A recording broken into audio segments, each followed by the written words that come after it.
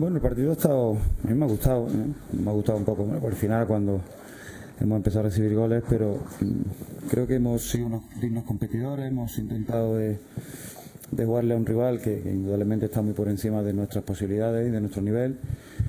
Y, y es cierto que mm, llega un momento en el que, bueno, cuando sobre todo después del segundo gol, intentas irte arriba para meter un gol y meterte en el partido y entonces bueno cuando le das más facilidad al Madrid para que pueda hacer su juego que es la de correr y la de la de ejecutar el contragolpe al final muchas veces da lo mismo perder por dos que por tres y a nosotros nos da exactamente lo mismo nos queremos ir con la sensación de que hemos hecho bien las cosas y que hemos intentado tener una opción de meternos en el partido y bueno, y de ahí que esos goles hayan venido todos en esos minutos, ¿no? Sobre todo cuando ya nosotros pues íbamos para arriba con mucha gente y con la, y con la única mentalidad de, de conseguir uno.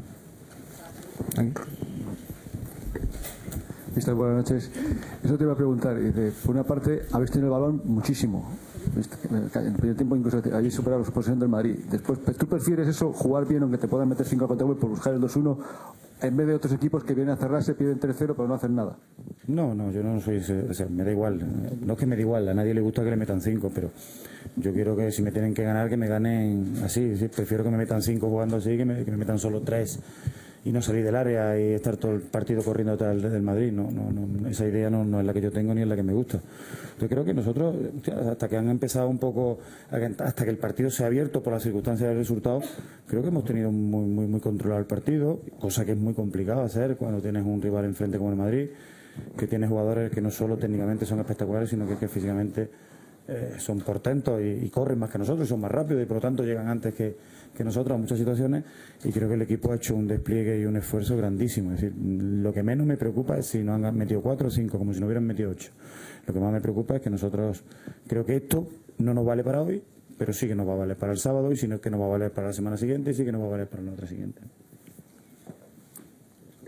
Muy buenas, mister. Precisamente más o menos por ahí es donde iba a tirar. Yo, yo te quería preguntar, porque el mensaje normal después de un 5-0 es olvidarlo y al siguiente partido. Pero me imagino que desde tu punto de vista, más allá del resultado, sí que hay cosas que, que valen para los partidos que vienen. ¿no? Mucho, mucho. Yo creo que hoy hemos hecho mucho. Si nosotros competimos a este nivel contra otros equipos, somos, ganamos partidos como lo hemos hecho. Es decir, que muchas veces nosotros jugando a nuestro máximo nivel contra el Madrid, como yo creo que hemos jugado, hemos jugado pues rayando nuestro, lo mejor que lo podemos hacer no nos vale. O sea, no es que nos, nos valga solo para no ganar, sino que es que incluso podemos salir goleados de un, de un estadio como este. ¿no?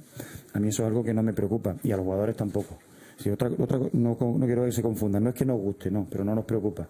Nuestra mente está ya puesta en el Celta, porque sabemos que si hacemos muchas de las cosas que hemos hecho hoy, pues somos un equipo que luego contra otros equipos de, de, nivel inferior al Madrid, sí somos competitivos y somos capaces de ganarlo. O sea que no es una preocupación venir aquí y perder, ¿no? no. Es una preocupación venir aquí y no hacer absolutamente nada por competir contra el Madrid. Y eso este, hoy por lo menos no ha ocurrido, ¿no? Nosotros hemos hecho lo que hemos podido. ¿no?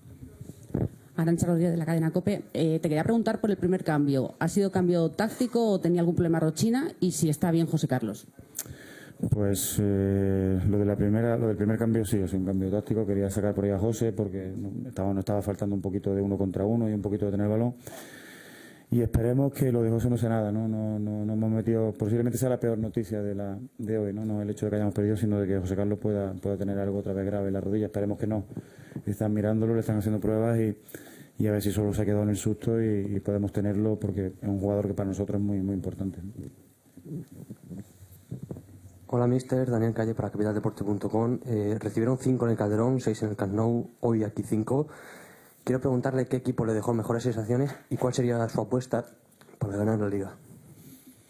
Hombre, los grandes de arriba te dejan todas buenas sensaciones porque son muy buenos. Es decir, vamos a ver, ¿no? estos equipos están a un nivel que a la mayoría del resto de los equipos se nos escapa. ¿no?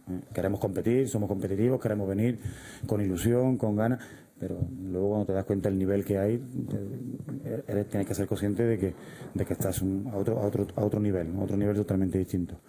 Entonces, mmm, posiblemente hoy el Madrid parezca que no haya tenido que hacer nada del otro mundo para, para ganarnos, ¿no? Eh, sí es cierto que hasta que él estaba con 1-0, bueno, pues eh, siempre lo hemos tenido un poco eh, ahí, ¿no? El, el, sobre todo la incertidumbre del resultado te hace que el partido eh, parezca otra cosa. Luego, bueno, pues son capaces con una facilidad pasmosa de meter tres segundos, el tercero, el cuarto. Es decir, esa facilidad a lo mejor no la tienen otros equipos a los que nos hemos enfrentado, ¿no? Cada uno tiene sus su cosas buenas y cada uno tiene sus su virtudes y sus defectos. En cuanto a lo de la liga, yo creo que va a estar competida hasta el final. Es muy difícil que que algún equipo de estos se pueda dejar un punto por el camino, aunque, aunque es probable.